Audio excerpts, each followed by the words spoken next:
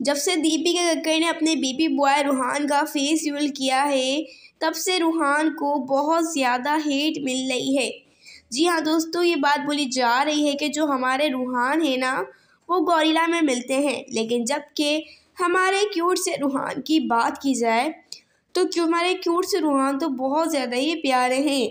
आखिरकार ऐसा क्यों बोल रहे हैं दीपिका कक्कर के हेटर्स हमारे दीपिका कक्कर को?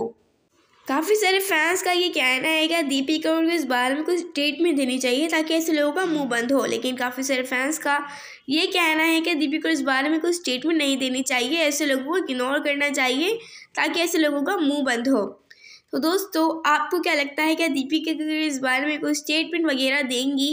मुझे कमेंट करके ज़रूर बताएगा और अगर आप लोग हमारी दीपिका के फ़ैन हैं तो कमेंट ज़रूर करिएगा। चलिए जी, मैं मिलती हूँ नेक्स्ट वीडियो में। चैनल को सब्सक्राइब करके बेल आइकन को भी दबा लें और हमारी क्यूट से दीपिका कर उनके क्यूट से बेबी के लिए प्यारी प्यारी बेशे सीखें तब तक के लिए bye bye thank you for watching bye bye